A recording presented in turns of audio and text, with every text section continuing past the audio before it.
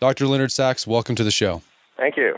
All right, so you have spent your career researching and investigating how sex differences between boys and girls can affect their intellectual and emotional development and have been an advocate to do make policy changes to take those the new research about sex differences into account. And in fact, one of your books is called Why Gender Matters. And a popular uh, idea out there is that you know gender really doesn't matter that much. Yes, there there could be some differences, but any differences that exist are negligible. Why does gender matter in the intellectual and emotional development of our children? Well, you certainly have described the political consensus, which is that gender doesn't matter, that gender is a social construct, and that anyone who says otherwise is either an idiot, a Republican, or both.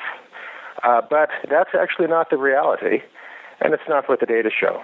Uh, for example, give a blank piece of paper and a box of crayons to a child, four, five, six years of age. I cite studies in which researchers gave did exactly that uh, in the United States, another study in England, another in South Africa, another in Japan, another in Thailand. In each study, researchers gave young children a blank piece of paper and a box of crayons and asked them to draw whatever they want. Girls everywhere draw people, pets, flowers, and trees. Usually two, three, or four standing on a horizontal ground. The people have eyes, mouth, hair, and clothes. The girls use 10 or more crayons with a predominance of red, orange, yellow, green, beige, and brown. Most boys, not all, but most boys do something quite different. Most boys are trying to draw a scene of action at a moment of dynamic change, like a monster eating an alien or a rocket smashing a, a, a rocket smashing into a planet. Human figures, if present, are often stick figures, lacking eyes, mouth, hair, and clothes. The boys use six or fewer crayons, with the predominance of black, gray, silver, and blue. Now, I have personally been in the classroom when the teacher has given a piece of paper and a box of crayons to all the girls and boys in her classroom. And she is praising and commending Emily and Melissa and Sonia and Vanessa for their pictures, uh, people, pets, flowers, and trees. But then she come, comes to Jacob's picture. And Jacob's trying to draw a car crash at the moment of impact, where one car is being crushed between two others.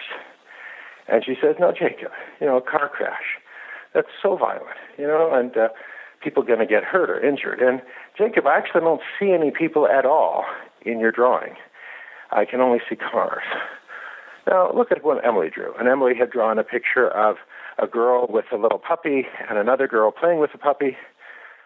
You know, why can't you draw something more like Emily? There's one thing that kids are equally good at, girls and boys, at every age, and that's figuring out what the grown ups like. And it doesn't take the boys very long to figure out they're doing it wrong. I have visited now more than 380 schools across the United States and around the world. And I was in a second grade classroom in the United States where teachers had free time, you can do whatever you want. And some of the girls were sitting and coloring, and one of the boys was running around the room making a buzzing noise. And I stopped him. And I said, How come you don't want to sit and draw?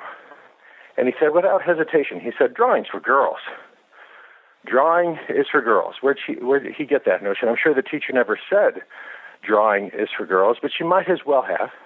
She's unintentionally sending the message that drawing is for girls.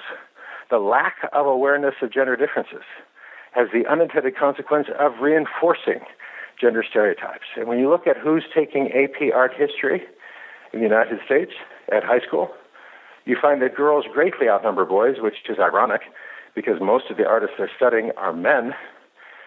But it works both ways. Ignoring gender differences, pretending that gender doesn't matter, disadvantages girls as well. In 1987, 66% of high school students taking AP Computer Science were boys, 34% were girls. Last year, only 19% of high school students taking AP Computer Science were girls. We've gone from 34% in 1987 dropped to 19%. Ignoring gender does not eliminate gender stereotypes, it reinforces gender stereotypes. You end up with what we have in this country which is girls who think computer science is for boys and boys who think drawing is for girls. If you do it differently, then you can break down the gender stereotypes.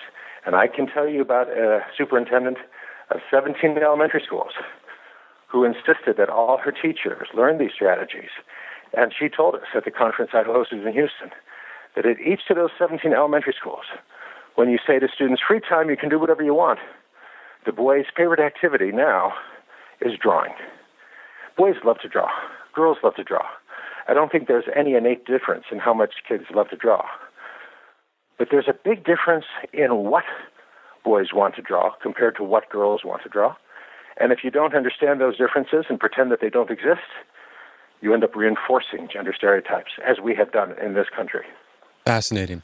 So I imagine testosterone is the big cause of the difference of why boys are more action oriented. Nothing to do. Excuse me. Testosterone has nothing to do with the difference. There is no sex difference in testosterone levels among four, five, six, seven years uh, old children. Uh, children at that age make very little testosterone, and there is no sex difference between the amount of testosterone in a five-year-old boy compared with a five-year-old girl. So why why why is the difference though there?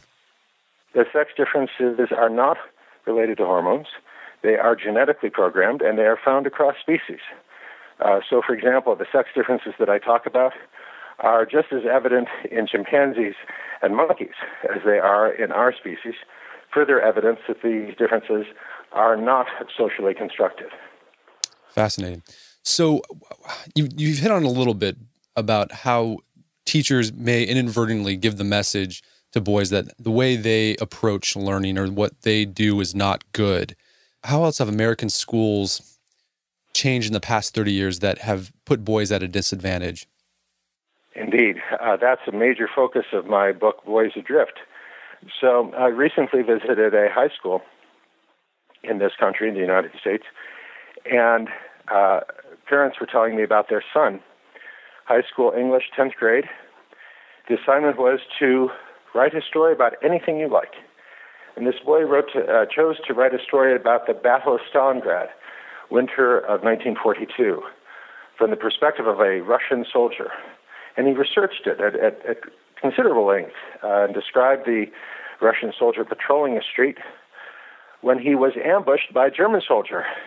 And the Russian soldier fires his rifle at point blank range into the face of the German soldier, and then describes what happens when you fire a uh, military rifle at point blank range in another man's face. What happens is that the head explodes, and a piece of eyeball goes this way, a piece of chin goes that way, some brain matter goes this way. This boy was suspended from school, and the parents were told he could not return and so the parents secured at their own expense a professional evaluation and a letter from the professional uh, assuring the school and the district that the boy posed no imminent danger to himself or to others. And when the parents shared that story with me, it really struck a chord because I attended public schools in Ohio, K through 12, and in 1977, our lead teacher for English at our high school uh, invited me and three other students to sit for a competition administered by the National Council of Teachers of English. And we were shown into a room, and the proctor gave us each a blue book and said, You have 45 minutes, write a story. I chose to write a story about East German refugees escaping to West Germany. When I, when I share this story with high school students today, I have to explain to them that Germany used to be divided in two, and, and East Germans weren't allowed to, to go to West Germany, which is news to quite a few of them. But anyhow, I imagined East German refugees trying to escape to West Germany, crossing a minefield in the middle of the night. And one of them steps on a mine, which blows off, blows off his left leg to the knee uh, and his right leg to the hip. So he now has no feet. He's crawling west, blood pouring out from the stumps where his legs used to be. The uh, East German guards, of course, have heard the noise and have uh, uh, turned their uh, flood la- la- lamps to try to uh, find him on the ground and are shooting at him but missing. I described the bullets popping up little clouds of dust around him, and West German guards are calling out encouragement to him. Of course, they they're not allowed to go out into the minefield. And he's crawling west, and the, the bullets are uh, going on either side of him, and blood pouring out. And finally, he reaches the the border and the West German guards pick him up to take him to hospital, and at that moment he dies. The end.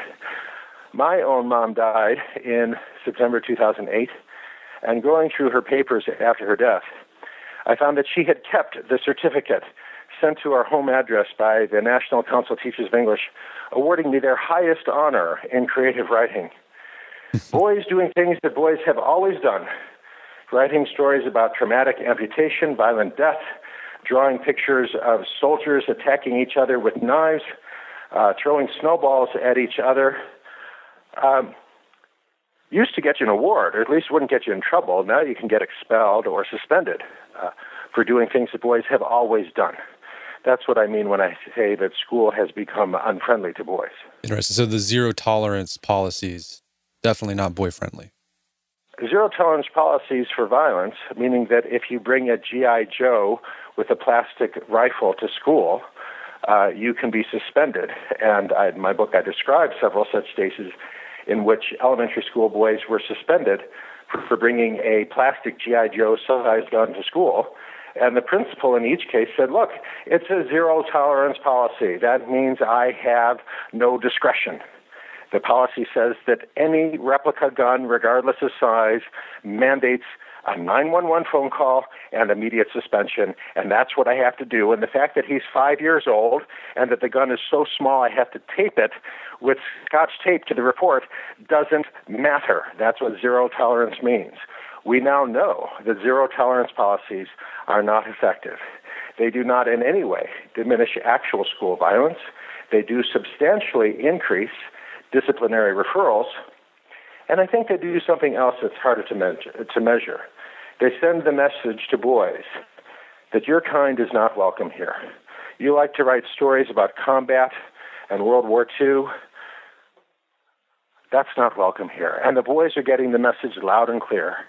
We're seeing a disengagement from education among boys uh, in every demographic white, black, and Latino affluent, middle income, and low income, which is without precedent in this country. And I can tell you stories from my firsthand experience of families where both mom and dad are professionals, uh, read in their spare time, their daughters read in their spare time, and the son told me he'd rather be boiled in oil than read a book in his spare time. Uh, because his favorite free time activity is playing Call of Duty, Grand Theft Auto, Halo. Wow. Um, how are some of the ways that boys and girls learn different? I think you mentioned your book that competition uh, is important for boys. Well, again, the big differences between girls and boys are not cognitive but motivational. The big differences between girls and boys are not in what they can do, but in what they want to do. And that's really the key to understanding all the strategies which I've observed. And again, I didn't make up any of these strategies, they're all strategies I've observed in schools that are successful. Uh, so when you visit a school like Korowa in Melbourne, Australia, where you find that more than half the girls take AP Physics, which is an astonishing figure and unbelievable but true, you find they teach physics in a profoundly different way. They don't teach it the way it's taught in most of other English speaking countries. They don't begin with kinematics. They begin, for example, with the wave particle duality of light uh, when you find at schools where all the boys, or the, a great uh, majority of the boys, love to write uh, poetry and love to write uh, stories and love Emily Dickinson and Jane Eyre uh, and uh, Jane Austen, you find that they teach it differently. so gender does matter, and you do need to understand and learn from master teachers how to engage boys in creative writing and poetry, uh, and how to engage girls in computer science and physics. And when you do that, you will find that you will break down gender stereotypes and you can greatly increase the proportion of boys who want to uh, spend their free time uh, reading Emily Dickinson uh, and girls who want to spend their free time writing computer code. However, it is unforgivable to speak these things in this country uh, because in this country, what happens at schools of education is determined not by data, but by politics and ideology. Mm. Do uh, are single sex classes or schools uh, one solution of many that can help uh, break down those gender stereotypes? I used to think so, and actually took a five year sabbatical from medical practice, in part to encourage uh, public schools to offer that option as a choice for parents who wanted it uh, when teachers have appropriate training. Uh, but I have pretty much given up on that.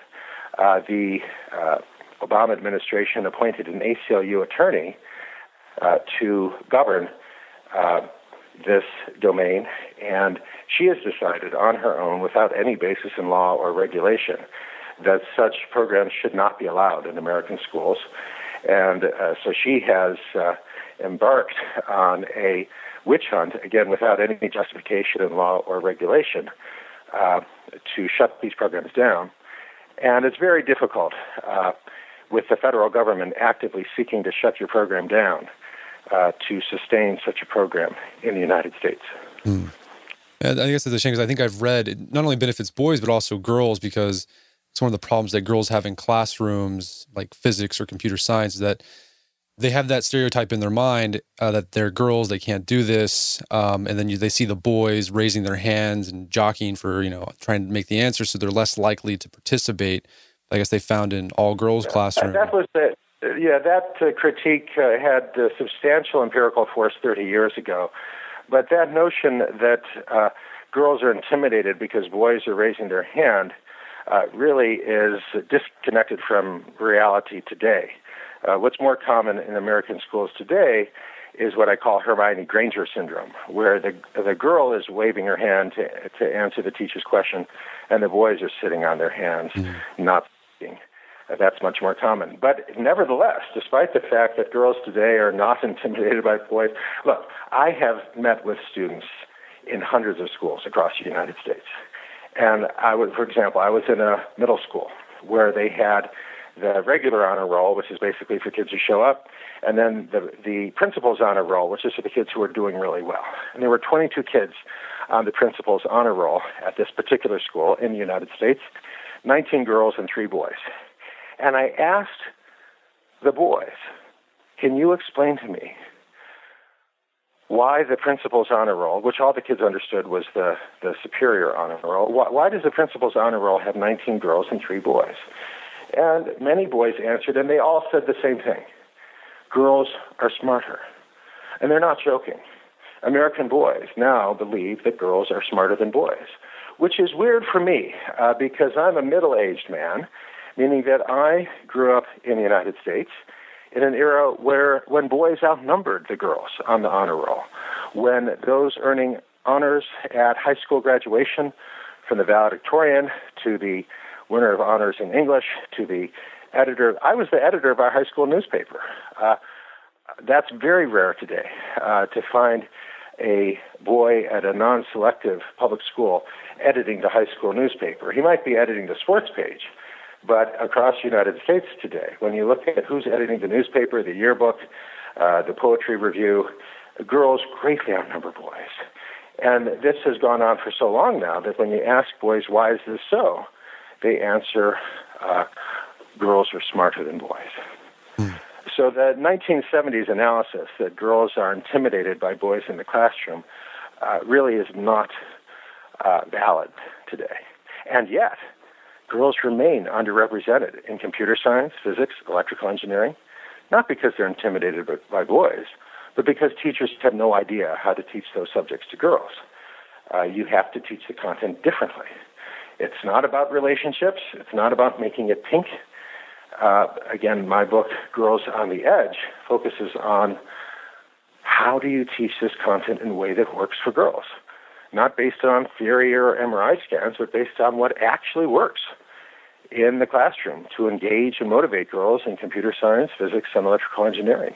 It's pretty well established now, but seldom used because, again, the notion, merely stating the uh, proposition that the best way to teach computer science to girls is different from the best way to teach computer science to boys is politically unacceptable even if it is empirically very clear.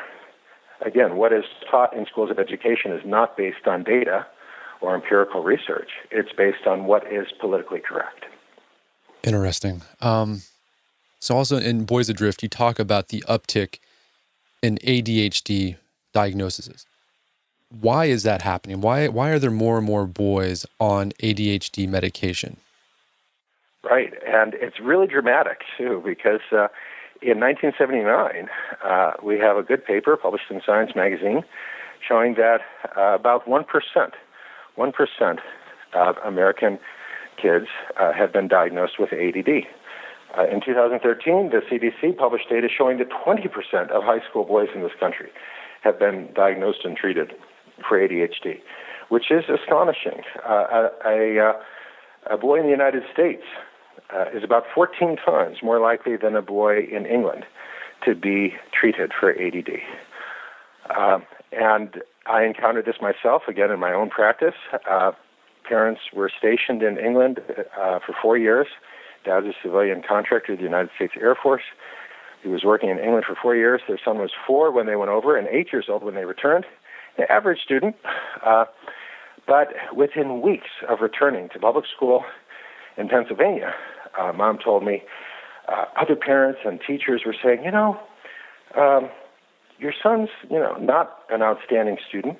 Yeah, well, why don't you have him evaluated? Maybe, maybe he would benefit from being on medication. I was like, it was creepy. It was like everyone was was on the payroll of the drug companies. this is these are her words. Uh, why in the United States and not elsewhere? Uh, a kid in the United States, as I said, is much more likely to be on medication for ADD. Uh, a kid in the United States is 40 times more likely to be uh, treated for bipolar disorder, 93 times more likely to be on antipsychotic medications like Risperdal or Zyprexa compared to a kid in Italy. Why? Uh, there's a couple things going on here. Uh, one is the tendency in the United States uh, to regard medication as a first resort rather than a last resort. You know, kids misbehave in all countries, and I have visited schools in Australia, in England, in Canada, in uh, Mexico, in New Zealand, uh, in Scotland, uh, and I can tell you that kids misbehave in all countries. But if a kid in Scotland is is uh, running around and throwing things, the teacher will say, "It's quite enough of that nonsense. I expect you to sit still and be quiet." But in this country, it is very like which which is what a teacher in this country might have said 30 years ago. But today, a teacher in this country will say to parents, "You know, uh, your child uh, might benefit from evaluation. He might benefit from medication. Have you thought of having him evaluated? And the parents will take him to the doctor. And in this country, the board certified child psychiatrist will say, well, let's try Adderall and see, and see if it helps, or Vyvanse. Uh, so there's been an explosion in the prescribing of medication. Uh, and I explore the reasons uh, in my book, Boys Adrift, and in my forthcoming book, The Collapse of Parenting, which was initially titled The Collapse of American Parenting uh, why most kids would, bet, would be better off raised outside the United States. But uh, non celebrity authors don't get to choose their titles, uh, and so that title was changed. The title of the book coming out in December is The Collapse of Parenting uh, The Three Things You Must Do in Order for Your Child to Become a Fulfilled Adult. are there any detrimental effects of prescribing ADD medication to children who might not need it? Yes. Uh, well, there's detrimental effects regardless of whether the child needs it or not. Okay. And I'm talking now about the stimulant medications Adderall, Ritalin, Concerta, Metadate, Focalin, Daytrana, and the most popular one, Vyvanse. Sounds like a bunch of different medications, but it's actually just two amphetamine and methylphenidate. Adderall and Vyvanse, the most popular medications, are amphetamines. They're speed. And these medications damage the motivational center of the brain, the nucleus accumbens. And I have 14 good studies, uh, uh, which I cite, uh, showing that these medications, even in low doses, uh, can damage the motivational center of the brain. And again, I described uh, such a boy in my own practice. Um, rolls out of bed late every day, uh, mom got frustrated uh, with him one day and confronted him and says, "You know, what's the story here? You, you, you wake up late every day. You work a few hours a week at the coffee shop. You're 27 years old. You don't have a life. You don't even have a girlfriend, for goodness sake." And she, and he laughed. He said, "Well, I used to have a girlfriend. Uh, Then she found out I only work a few hours a week at Starbucks. She dumped me. uh, he's fine. Mom is pulling her hair out. Uh, she insisted he come talk to me. He's fine with that. He's known me since he was a kid. He was on Ritalin from nine years of age to 17 years of age, prescribed by a different doctor. That's the end result. When you damage the motivational center of the brain, the nucleus accumbens, you get a boy who looks fine, feels fine, perfectly content. He's got no drive. He's got no drive. He's perfectly content with his 55 inch flat screen, his online pornography, and his video games. Hmm. I mean, so what should parents do when teachers or counselors or other parents say, hey, maybe you should go get your, your son checked out? Because, I mean, that's a lot of social pressure. Yes, it is. Uh, I absolutely agree. And a parent in the United in the United States is under a lot of pressure. If your child is not performing at a high level, uh, you will start to hear those whispers, as this parent who returned from England described them. Uh, from other parents say you should have your son evaluated. Uh, and I really fought with the publisher to include uh, formal guidelines in my book, Boys Adrift, so that parents can decide on their own does my child meet criteria for ADD? And the publisher really challenged me and said, Are you suggesting? The, these are the exact words of the publisher to me uh, when uh, Boys Adrift was in production. Are you suggesting, the publisher said, that a parent, after reading your book, is competent to question the judgment of a board certified psychiatrist? And I said, Yes. I said, not only that, I'm saying a parent must question the judgment of a board certified psychiatrist because psychiatrists in the United States prescribe medication for just about every kid who walks in the door. So the moment you make that appointment, it is very likely that the doctor will hand you a prescription at the end of the appointment. And you must be the advocate for your child. And you must question the doctor's diagnosis and the doctor's uh, treatment. Because again, in this country, medication is the first resort. Outside of North America, medication is the last resort. And the result is that we are experimenting on kids in a way which has no precedent. And, uh, you know, I was doing this talk at Grace Church School in Manhattan, and a father stood up and, and challenged me. He said, Dr. Sax, he said, I just don't find this believable. He said millions of kids are taking these medications, and you're suggesting that these medications damage the motivational center of the brain. I'm sorry, Dr. Sax. I, I just can't buy that. If there was any truth to what you're saying, and I interrupted him, I said, if there was any truth to what I'm saying, you'd have heard this before from a more authoritative source than Leonard Sax, a family doctor. You'd have heard, you'd have heard this from someone like Dr. Joseph Biederman, chief of research in pediatric psychiatry at Harvard Medical School. And of course, Dad didn't know where I was going with this. And I said, you know, the same thought occurred to Senator Charles Grassley, United States Senate Judiciary Committee, who summoned Dr. Biederman to the United States Senate and said, Dr. Biederman, you've really been pushing Adderall hard. You have said that if a parent, uh, if a doctor prescribes Adderall for a child and the parent does not promptly fill and administer that medication, Dr. Biederman, you've said that parents should be considered for charges of criminal child neglect. Uh, Dr. Biederman, are you by any chance taking money from the drug companies that you've never publicly disclosed? But turns out he was, uh, more than $1.6 million, according to his count. That count was never independently verified, um, which is fine. He didn't break any law. Uh, a doctor can accept as much money as he wants to from the drug companies, and he's not breaking any law in the United States. But his action was unethical. He should have told us that he was taking this money, that he was functioning essentially as a paid spokesperson for the drug companies. Uh, but he's still a director of pediatric psychiatry research at Harvard, despite all the articles in the New York Times uh, documenting how he took all this money. And it's not just Dr. Biederman. Uh, the uh, uh, Senator Grassley in his investigation had many of the leading lights of uh, American psychiatry come in, and, and the most chilling line of testimony. He asked one of these psychiatrists who had accepted millions of dollars and not disclosed it, "Why didn't you disclose it?" And the, the psychiatrist said, "Well, because it's standard practice." Mm. It, standard practice. Those were his exact words. And uh, that's very troubling uh, when the leaders of child psychiatry say that it's standard practice for the leaders of child psychiatry to accept millions of dollars from drug companies and not to tell us about it.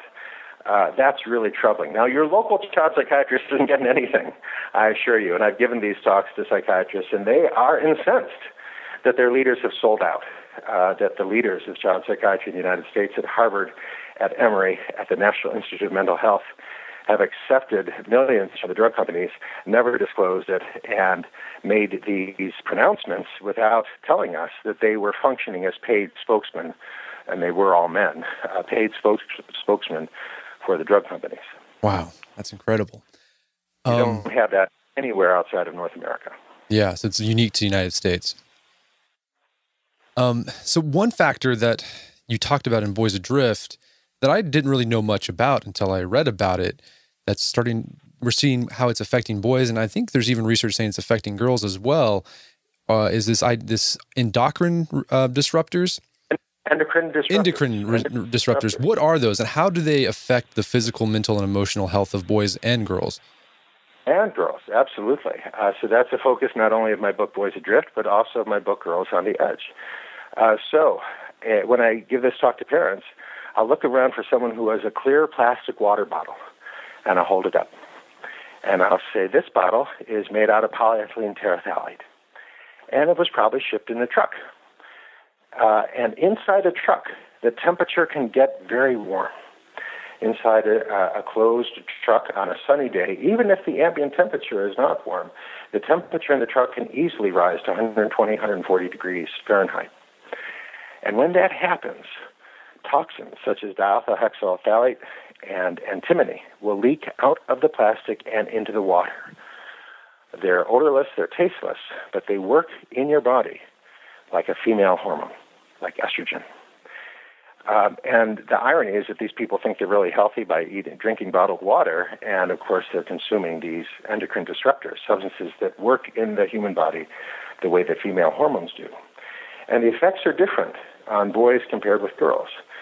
Uh, in boys, in teenage boys, you drop testosterone levels. And teenage boys need testosterone uh, for motivation, among other things. And I uh, and I uh, document and explain that point in Boys Adrift. Um, but the, the effect in girls is to accelerate the onset of puberty. And so in the United States, more than half of girls have now begun the process of puberty before 10 years of age. Uh, puberty accelerated for both boys and girls throughout much of the 20th century, but in the last 30 years, the age of onset of puberty has not changed uh, for boys. It's stayed around 12 years of age, but it has accelerated, uh, continued to accelerate really without pause in girls, so that, as I said, more than half of American girls have now begun puberty prior to 10 years of age. Uh, and that's really harmful for lots of reasons, uh, for girls and for boys. Um, I was sitting in a uh, uh, seventh grade classroom uh, where there was a 13 year old boy sitting next to a 13 year old girl. The 13 year old girl could easily have passed for a 16 year old girl. The process of puberty was complete. Uh, the 13 year old boy could easily have passed for a 9 year old boy. The process of puberty had not yet begun. There's always been a uh, sex difference in the age of onset of puberty, uh, but 30 years ago it was a matter of months. Now it's a matter of years. Uh, but again, talking about boys, you look at men at university in the United States, and according to recent studies, one in three college age men now report difficulty achieving and maintaining an erection. Um, a college age man uh, today has a testosterone level uh, comparable to what would have been seen in a 50 year old man uh, two generations back. Uh, so this has big consequences. Uh, and uh, one of course, which is the uh, decline of courtship. Uh, and you find quite a few men, and I've spoken to them personally, uh, who would rather masturbate over pornography rather than uh, pursue and date and be intimate with a young woman. That is now common in the United States. It, would have been considered pathological as recently as 20 years ago. Fascinating. So, what can uh, people or parents do to avoid or mitigate the effects of um, these disruptors? Yeah, it's actually very easy to protect your child from endocrine disruptors. Uh, don't ever cook anything in plastic. Don't buy anything that's shipped room temperature in plastic. Uh, it's fine to buy uh, juice in plastic if it was shipped refrigerated and it's stored refrigerated in the grocery store. Uh, but plastic is the source of many of these endocrine disruptors. Uh, cosmetics, likewise. Uh, uh, many of the shampoos and lotions that uh, children, especially girls, use are very high in these endocrine disruptors. Manufacturers in the United States are not required to disclose that, but again, I provide very detailed guidelines in my book, Girls on the Edge, and also for boys in Boys Adrift. Fascinating. I know a lot of our listeners are they're the parents of sons. They're also the parents of daughters you, you mentioned one of the challenges facing girls is uh, the way that we teach, for example, physics or computer science, just isn't what motivates them or gets them interested. What are other some What are some other challenges facing young girls in America today? Well, I think the sexualization of, of girlhood is a big one. That's the opening chapter of my book, Girls on the Edge. Um, and I begin the book uh, with Halloween, uh, with, again, a family from my own medical practice where mom was trying to persuade her daughter to wear the uh, Bavarian Dirndl outfit that she had worn for Halloween when, when she was 10 years old. And the girl said, No, you know, I've already uh, picked up my outfit. This was a few years back. Uh, she had chosen a Pussycat Dolls outfit, uh, which consisted of a brassiere top, hot pants, uh, fishnet lingerie, and stiletto heels, uh, which they had bought, which was on sale at Walmart. Uh, you know, if you imagine walking into Sears 30 years ago saying, hey, I'd like to buy an outfit for my nine year old girl that consists of a brassiere top, uh, hot pants, uh, fishnet lingerie, and um, stiletto heels, they'd probably call the police. You know, they'd probably arrest you because you're obviously a pedophile. Uh, but today, this is sold at Walmart and and uh, all the other major outlet, outlets. And here's what's scary: it's what all the cool nine-year-old girls are wearing. And when mom said, well, you know, if you don't want to dress up in my outfit, look, there's a bunch of grapes. You could dress up like a bunch of grapes. And her daughter said, Mom, only the fat girls dress like that. Um, the cool girls, uh, going back now to my own voice, the cool girls all dress in this uh, provocative um, uh, and revealing uh, stuff. That's what you wear if you're a cool girl and you're nine years old in the United States. And this is really harmful because presenting yourself as a sexual object when you're a nine or ten year old girl before you have a sexual agenda, we now have good research on this. It dislocates your sexual frame of reference. Um, sex become sexual sexuality becomes a performance, a show that you put on for boys. And one consequence of this is an explosion in the proportion of girls who identify as lesbian or bisexual. 50 years ago, the best numbers were that between 1 and 2 percent of American women women identified as lesbian or bisexual. Uh, right now, depending on which study you look at, between 15 and 24 percent of young uh, women and teenage girls identify as lesbian or bisexual. So that's a factor of 10 increase, a tenfold increase uh, in 50 years. When you look at men, what proportion of men identify as gay or bisexual hasn't changed in 50 years. It stayed rock solid at 3 to 4 percent. Uh, so why is that? Why has this exploded for girls and really not changed at all for boys? Well, that's again the focus of the opening chapters of Girls on the Edge. But one reason is the, the sexualization of girlhood, the way in which uh, the society, the culture, the popular culture, including the Disney Channel, now pushes girls to present themselves sexually at eight, nine years of age in a way that would have been unthinkable and considered perverse uh, a generation ago. Uh, middle school has, has trickled down into third grade, and I've had eight year old girls. Uh, uh, whose mom ha- told me that she's refusing to go to school because the the boys say she has a, a muffin top. Uh, meaning that you have to wear midriff uh, to be a cool girl at eight years of age, and she has a little roll of baby fat over her butt, uh, her uh, her belt line, and that's what uh, the kids call a muffin top, and it's a it's a it's an insult. Um, and so she doesn't want to go to school. She is judging herself based on whether or not the boys think she's cute at eight years of age. And that's really harmful. Yeah, and I'm sure that um, leads to further problems of body dysmorphia, anorexia, bulimia later yep. on. Yep. Well, Dr. Sax, this has been a, a really fascinating discussion, and we didn't get to everything we could we could talk about because there's so much. Um, but where can people learn more about you and your work? Well, thank you. Uh, I just hired a professional web designer to bring my website into the 21st century. It's leonardsax.com, where you can see all the uh, presentations I'm doing and uh, uh, send me an email, and I do try to answer everyone if I possibly can. Fantastic. Well, Dr. Sax, thank you so much for your time. It's been a pleasure. Thanks again. Our guest today was Dr. Leonard Sax. He's the author of the book Why Gender Matters, Boys Adrift, Girls on the Edge. You can find those all on Amazon.com. Go pick them up if you want. And also, you can find out more information about his work at leonardsax.com. And that's L E O N A R D S A X.com.